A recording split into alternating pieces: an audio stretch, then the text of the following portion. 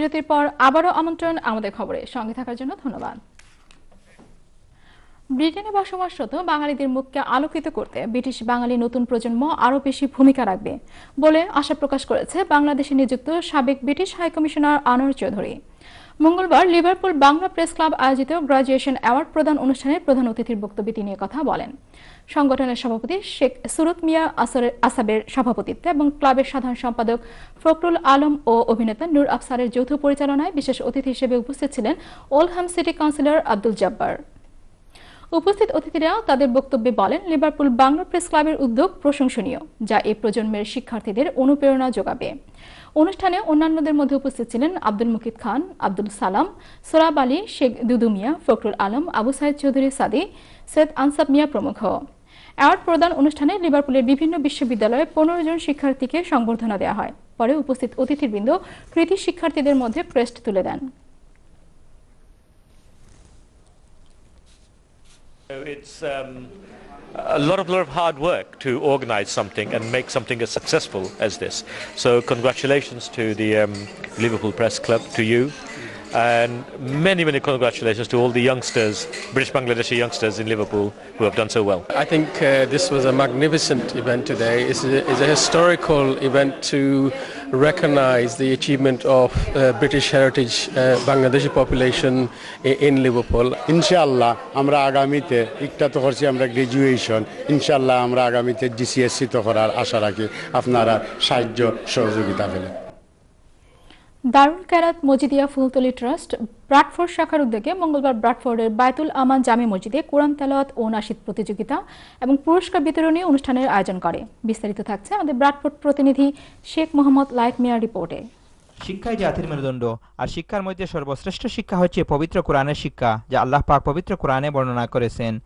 পবিত্র কোরআনের তেলাওয়াত সহি, শুদ্ধ করে শেখার লক্ষ্যে দারুল খেরাত মসজিদিয়া ফুলতলি ট্রাস্ট ব্রাডফুড শাখার উদ্যোগে সহি কোরআন তেলাওয়াত ও নাসিদের প্রতিযোগিতার বিজয়ীদের পুরস্কার বিতরণী অনুষ্ঠানের আয়োজন করা হয় মঙ্গলবার ব্রাডফুডের বায়তুলামান জামে মসজিদে। এতে বিপুল সংখ্যক শিশু কিশোর উলামাই রাম অভিভাবক ও কমিউনিটির বিশিষ্ট ব্যক্তিবর্গ সহ সর্বস্তরের জনগণ উপস্থিত ছিলেন। আব্দুল লতিফের পবিত্র কোরআন তেলাওয়াত ও মৌলানা আব্দুল মতিনের পরিচালনায় অনুষ্ঠানে সভাপতিত্ব করেন মৌলানা ফখরুল ইসলাম। অনুষ্ঠানের শুরুতে নাসিদ পাঠ করেন হাফিজা খাতুন ও তার দল। অনুষ্ঠানে বক্তব্য রাখেন মৌলানা নজরুল ইসলাম, আব্দুর রৌফ এনামুল হক বায়জিদ খান, হাফিজ আব্দুল কাদির ও হাফিজ আসাদ মিয়া প্রমুখ। বক্তারা তাদের বক্তব্যে দারুল কেরাতের এই উদ্যোগ নেওয়ার জন্য সংশ্লিষ্ট কর্তৃপক্ষকে স্বাগত জানান। অভিভাবকেরা ছাত্রছাত্রীদের সহি কোরআন তেলাওয়াত শুনে বুয়সী প্রশংসা করেন এবং ভবিষ্যতে এ ধরনের অনুষ্ঠানের জন্য আশাবাদ ব্যক্ত করেন। উলামায়ে কেরামগণ আরও বলেন, প্রত্যেক মুসলমানদের জন্য সহিভাবে কোরআন তেলাওয়াত শিক্ষার গুরুত্ব অপরিসীম। পরে বিজয়ীদের হাতে পুরস্কার তুলে দেন কমিউনিটির বিশিষ্ট ব্যক্তিবর্গ। অবশেষে সমগ্র বিশ্বের মুসলমানদের শান্তি ও সমৃদ্ধি কামনা করে বিশেষ মোনাজাতের মাধ্যমে অনুষ্ঠানের সমাপ্তি ঘটে। ব্রাডফুড থেকে Sheikh Mohammad Layek Mia channel I news Leeds Shahjalal মসজিদ কমিটি এবং স্থানীয় কমিউনিটি নেতৃবৃন্দের উদ্যোগে ঈদ পুনর্মিলনীয় অনুষ্ঠানের আয়োজন করা হয়। আমাদের লিডস প্রতিনিধি মোহাম্মদ জাকারিয়ার রিপোর্টে থাকছে বিস্তারিত। লিডস শাহজালাল জামে মসজিদ এবং ইসলামিক সোসাইটির উদ্যোগে গত সাতাইশে আগস্ট মঙ্গলবার স্থানীয় বাংলাদেশ সেন্টারে এক ঈদ পুনর্মিলনী অনুষ্ঠানের আয়োজন করা হয়। শাহজালাল জামে মসজিদের ট্রাস্টি হাজি মহিমিয়ার সভাপতিত্বে এবং মসজিদ কমিটির সহ সভাপতি আবুল আবেদিনের পরিচালনায় অন্যান্যদের মধ্যে বক্তব্য রাখেন মসজিদ কমিটির সভাপতি মল্লিক দবির মিয়া, কমিউনিটি নেতা শাহ আবু বক্কর, জাহেদ আলী এবং দিলাউর রহমান মুজিব সহ অন্যান্য নেতৃবৃন্দ। বক্তারা এলাকার যে কোনো দুর্যোগপূর্ণ পরিস্থিতিতে কমিউনিটির সকল স্থানীয় বাসিন্দারা তাদের সহযোগিতার হাতকে বাড়িয়ে দেওয়ায় কমিউনিটির সর্বস্তরের মানুষের প্রতি কৃতজ্ঞতা প্রকাশ করেন এবং কমিউনিটির উন্নয়নের স্বার্থে যে কোনো কঠিন পরিস্থিতির মুখোমুখি হতে বদ্ধপরিকর বলে নেতৃবৃন্দরা স্থানীয় বাসিন্দাদের কাছে আশ্বাস দেন। আলোচনা সভা শেষে আপ্যায়নের মাধ্যমে অনুষ্ঠানের সমাপ্তি ঘটে। লিডসের বাংলাদেশ সেন্টার থেকে Mohammad Zakaria channel I news ফ্রান্সে বসবাসরত সিলেটের জুড়ি উপজেলাবাসীর উদ্যোগে আয়োজিত হয়েছে এক আনন্দ ভ্রমণ অনুষ্ঠান। আমাদের ফ্রান্সের বিশেষ প্রতিনিধি এম এ হাশেম জানান, প্যারিস থেকে প্রায় দুইশো কিলোমিটার দূরে ত্রবিল সমুদ্র সৈকতে এই পিকনিকের আয়োজন করে জুড়ি উপজেলাবাসী। জুড়ি উপজেলাবাসীর প্রস্তাবিত কমিটির আহ্বায়ক আব্দুর রব, কমিটি ব্যক্তিত্ব কমরুদ্দিন রফিকুদ্দিন সহ শতাধিক প্রবাসী সপরিবারে অংশগ্রহণ করেন। বিরূপ আবহাওয়ার মধ্যেও পিকনিক আয়োজনে ছিল গানের আসর কুইজ প্রতিযোগিতা ও ফুটবল ম্যাচ অনুষ্ঠান শেষে প্রতিযোগিতায় বিজয়ীদের মধ্যে পুরস্কার বিতরণ করা হয়। এছাড়া প্যারিসে অবস্থানরত জুড়ি উপজেলাবাসীদের নিয়ে এলাকার উন্নয়ন এবং প্রবাসীদের মধ্যে বন্ধন সুদৃঢ় করার লক্ষ্যে শীঘ্রই একটি কমিটি গঠন করার প্রস্তাব পিকনিকে সর্বসম্মতিক্রমে গৃহীত হয়।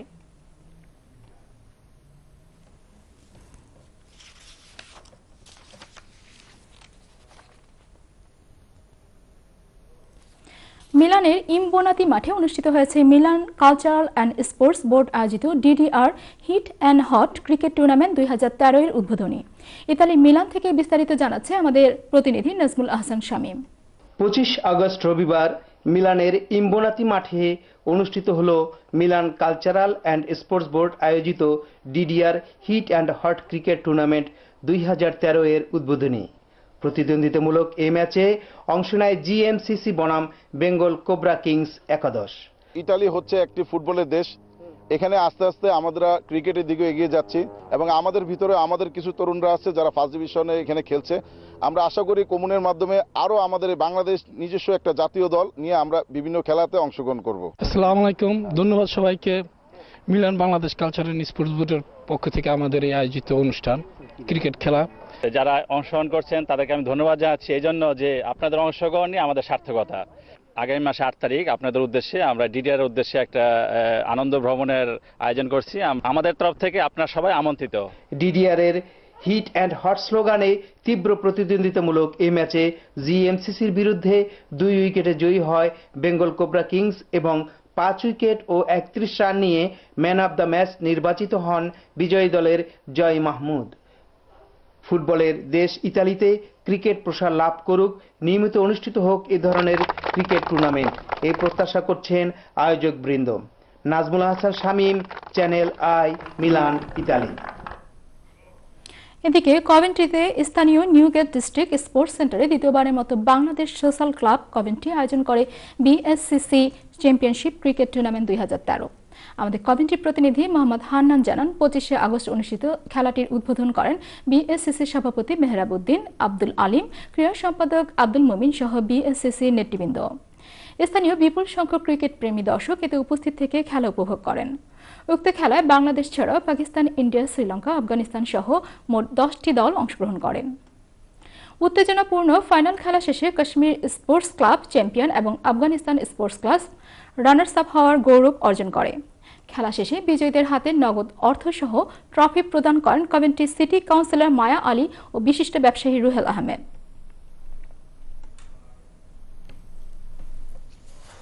এবার সিলেটের খবর।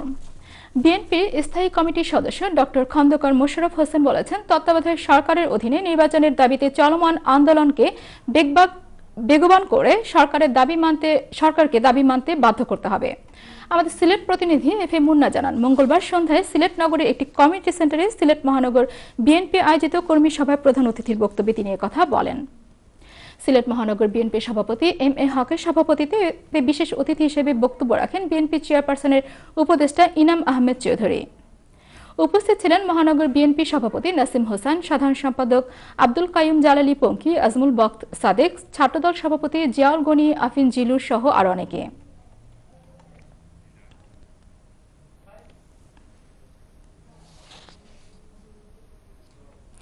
বিয়ানীবাজার ওয়েলফেয়ার ট্রাস্ট ইউকের উদ্যোগে বিয়ানীবাজার উপজেলার ছয়টি অসহায় পরিবারকে পাকা ঘর নির্মাণ করে দেওয়া হচ্ছে।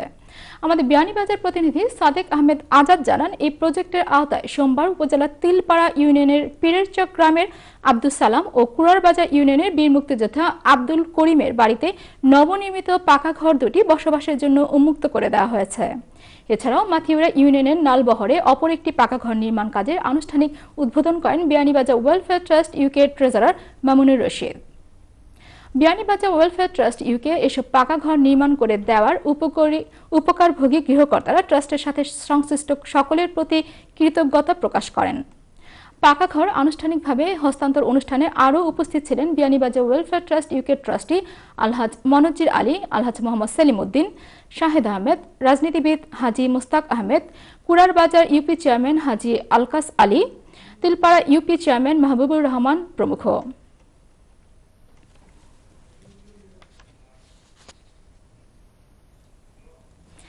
এ ছিল আমাদের আজকের আয়োজন। শেষ করার আগে আবারও জানিয়ে দিচ্ছি খবরের প্রধান প্রধান শিরোনামগুলো।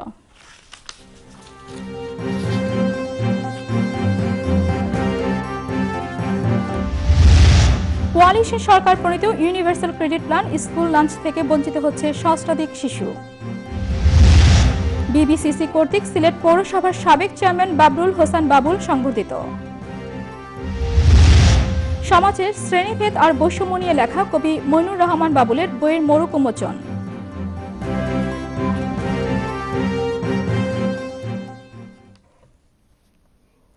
এ ছিল আমাদের আজকের আয়োজন। আগামীতে আমাদের খবর দেখার আমন্ত্রণ জানিয়ে বিদায় নিচ্ছি। ভালো থাকুন। আল্লাহ হাফেজ।